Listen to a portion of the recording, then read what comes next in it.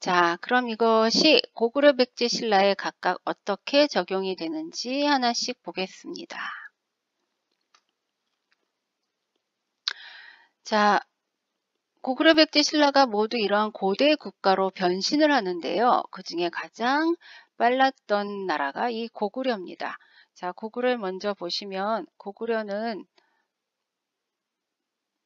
자, 이렇게 되죠. 2세기 태조왕 때부터 옥저를 복속시키고 그 다음에 요동으로 진출해서 영토를 넓힙니다.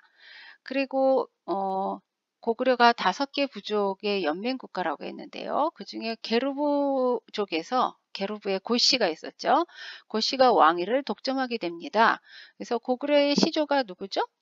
주몽이잖아요. 주몽의 성이 무슨 씨? 고씨가 되는 겁니다. 자, 그리고 어, 4세기 소수림왕 때 되게 많은 일들을 했어요. 나중에 다시 또 설명하겠지만 어, 이전에 예, 설명했던 율령을 반포한 것도 소수림왕이고요.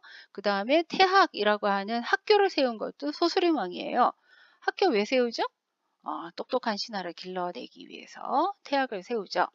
자, 그 다음에 또 한 것이 뭐냐면 불교를 수용한 것, 그것도 어, 소수림왕 때입니다.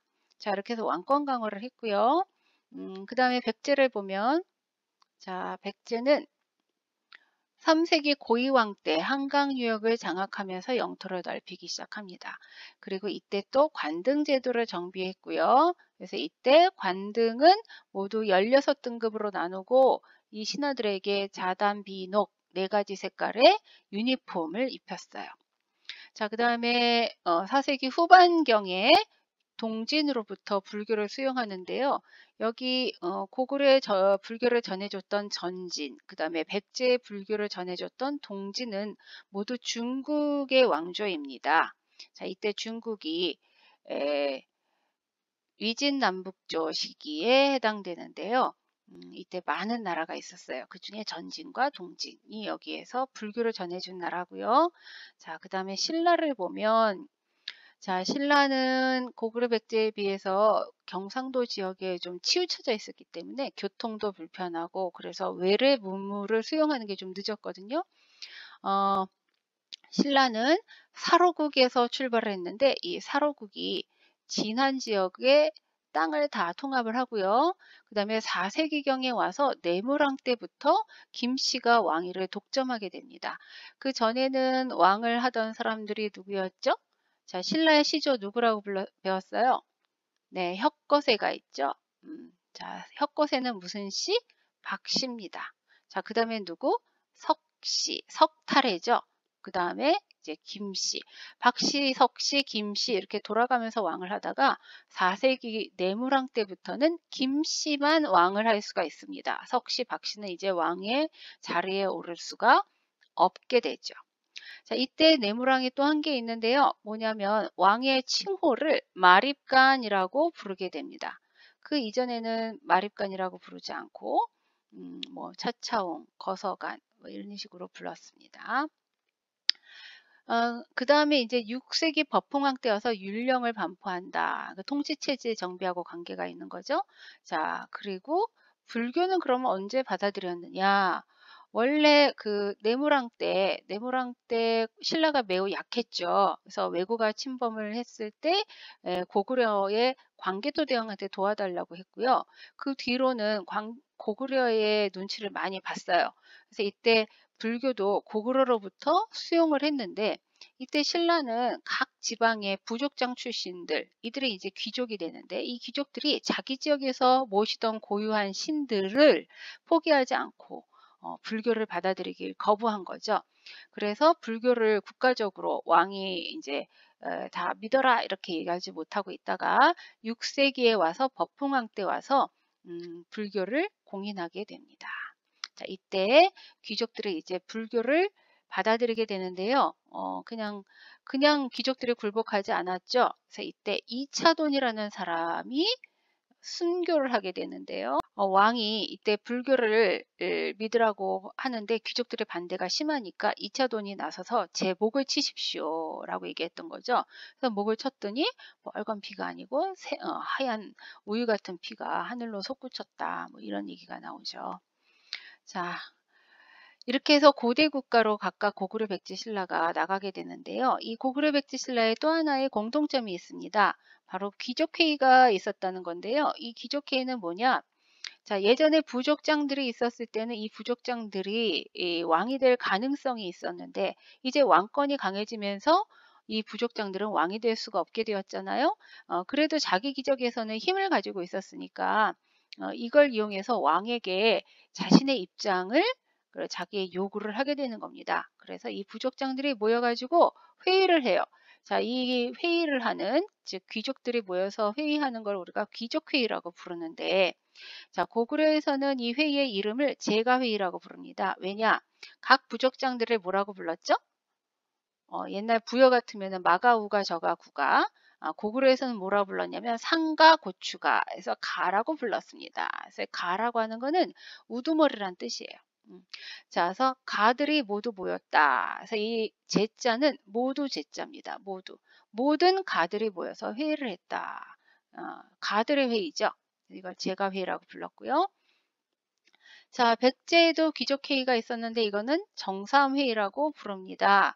이거는 뭐 후대에 우리가 별명처럼 부르는 건데요. 어, 정은 정치할 때 정자고요. 사는 일사자입니다. 일. 정치적인 일을 의논하는 암. 암은 뭘까요? 암은 바위죠. 바위. 음. 자, 바위가 있었다. 그 바위에 모여가지고 서로 회의를 했다. 해가지고 정사함 회의고요.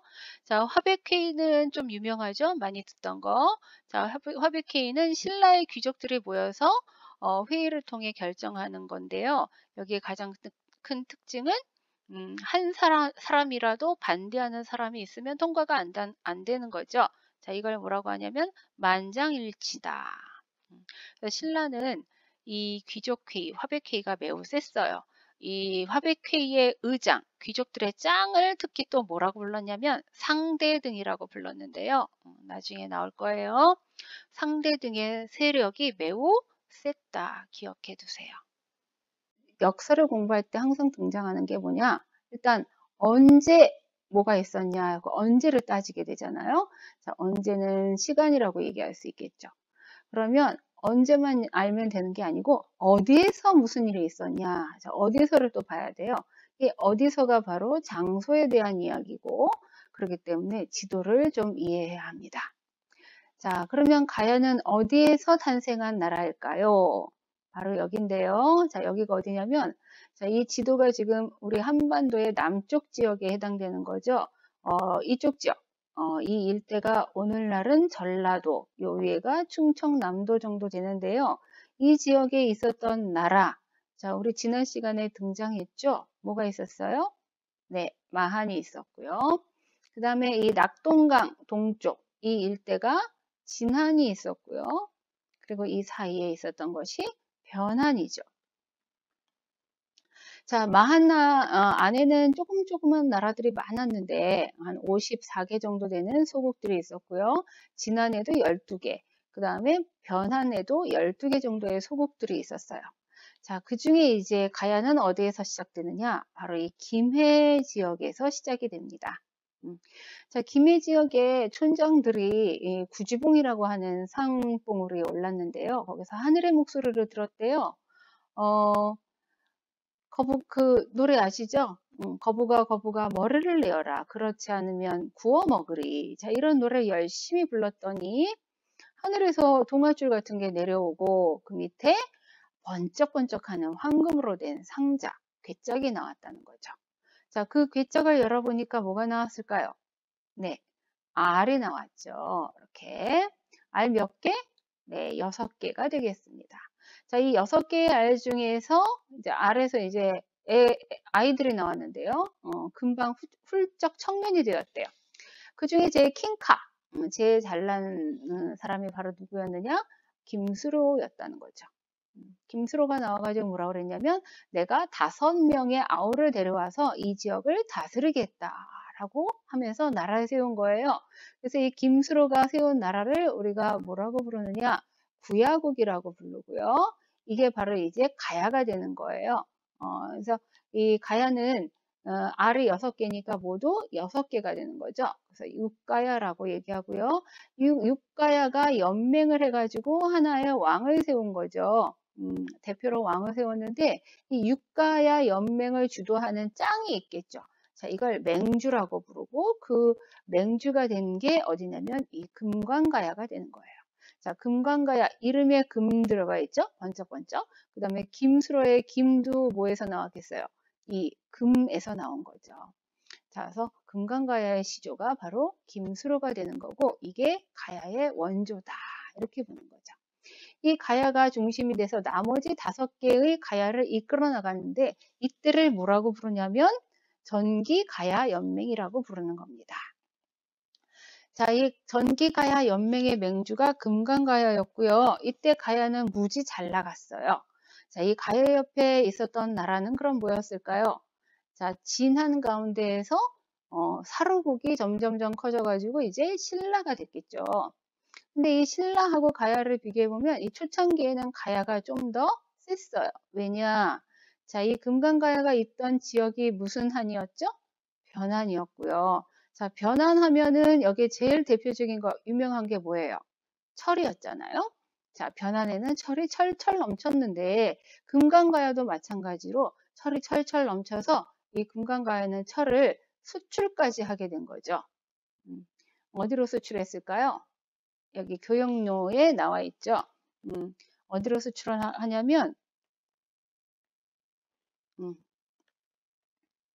자 이렇게 왜 왜가 어디죠? 일본이죠. 자 일본과 그 다음에 쭉 바다를 끼고 이쪽으로 가게 되면 이제 중국, 그 다음에 더 북쪽으로 가게 되면 이 위에 낭랑이라고 있었어요. 음. 자, 이런 등지로 수출을 하면서 금강가야가 굉장히 어, 강성해졌고요. 그래서 여기 옆에 있던 신라를 위협했어요. 자, 그러더니 이제 결국 4세기 무렵 금강가야가 외화 손잡고 신라를 공격한 거죠. 자, 이때 신라는 힘이 약해서 막아낼 수가 없으니까 도와달라고 구원 요청을 했어요. 누구한테요? 고구려한테. 이때 고구려의 왕이 누구요? 광개토 대왕이었죠. 광개토 대왕이 구원 요청을 받고 즉시 5만의 군사를 보내가지고 자말 타고 드다닥 내려왔죠. 자 밀고 내려와가지고 신라 서라벌을 위협하던 외를 물리쳤고요. 몰아내고 내친 김이 어디까지 가냐면 이 금강가야까지 가는 거죠. 그래서 이때 가야가 어, 세력이 매우 어, 위축돼요. 자 이렇게 되면서 전기가야 연맹을 이끌던 금강가야 세력이 약해지니까 그 뒤에는 가야를 대, 여기를 대신해서 산속 깊은 곳에 있었던 즉 고령을 중심으로 한 대가야가 연맹의 주도권을 갖게 됩니다. 이때를 이제 뭐라고 부르냐면 후기 가야 연맹이라고 부르는 거죠. 그래서 후기 가야 연맹의 맹주가 바로 이 대가야가 되는 거고요. 자, 대가야가 쭉 이어가다가 그 뒤에 어떻게 되나요?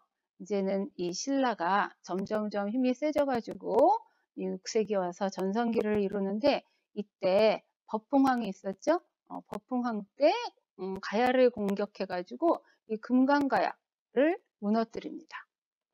자, 그리고 그 뒤에 진흥왕 때 와가지고 남아있던 어, 대가야를 무너뜨리게 되죠. 자, 이렇게 해서 가야가 어, 연맹왕국 단계에서 그 뒤에 고대왕국으로 진입하지 못하고 망하게 되는 거죠. 여기 이제 또 유명한 사람이 하나 나중에 등장하죠. 가야 왕족의 후손이었던 자 김유신, 김씨죠. 음. 자 김유신은 망한 가야의 왕족이었기 때문에 그 뒤에 신라의 왕이 될 수가 없었던 거죠. 그래서 그때 누구를 이용하나요? 그 유명한 어, 김춘추를 이용해서 김춘추를 왕으로 세우고 자신도 권력을 갖게 되죠. 설명할 내용이 좀 많아서 삼국의 경쟁 부분을 오늘 다 하지 못했어요. 다음 시간에 계속 이어서 하기로 하고요. 이제 오늘 과제를 할 차례입니다. 오늘 과제도 퀴즈 설문지인데요. 어, 특별히 오늘은 강의 중에 문제를 하나 넣어봤어요. 어, 오늘 강의 어, 영상을 열심히 본 친구들은 정답을 충분히 쓸 수 있을 거예요. 자, 그럼 오늘 문제 나갑니다. 고대 국가 단계에 이른 세 국가가 있었죠. 어, 무엇 무엇 무엇이 있었는지 퀴즈 설문지에다가 자신 있게 써주세요. 자, 그럼 다음 시간에 봐요.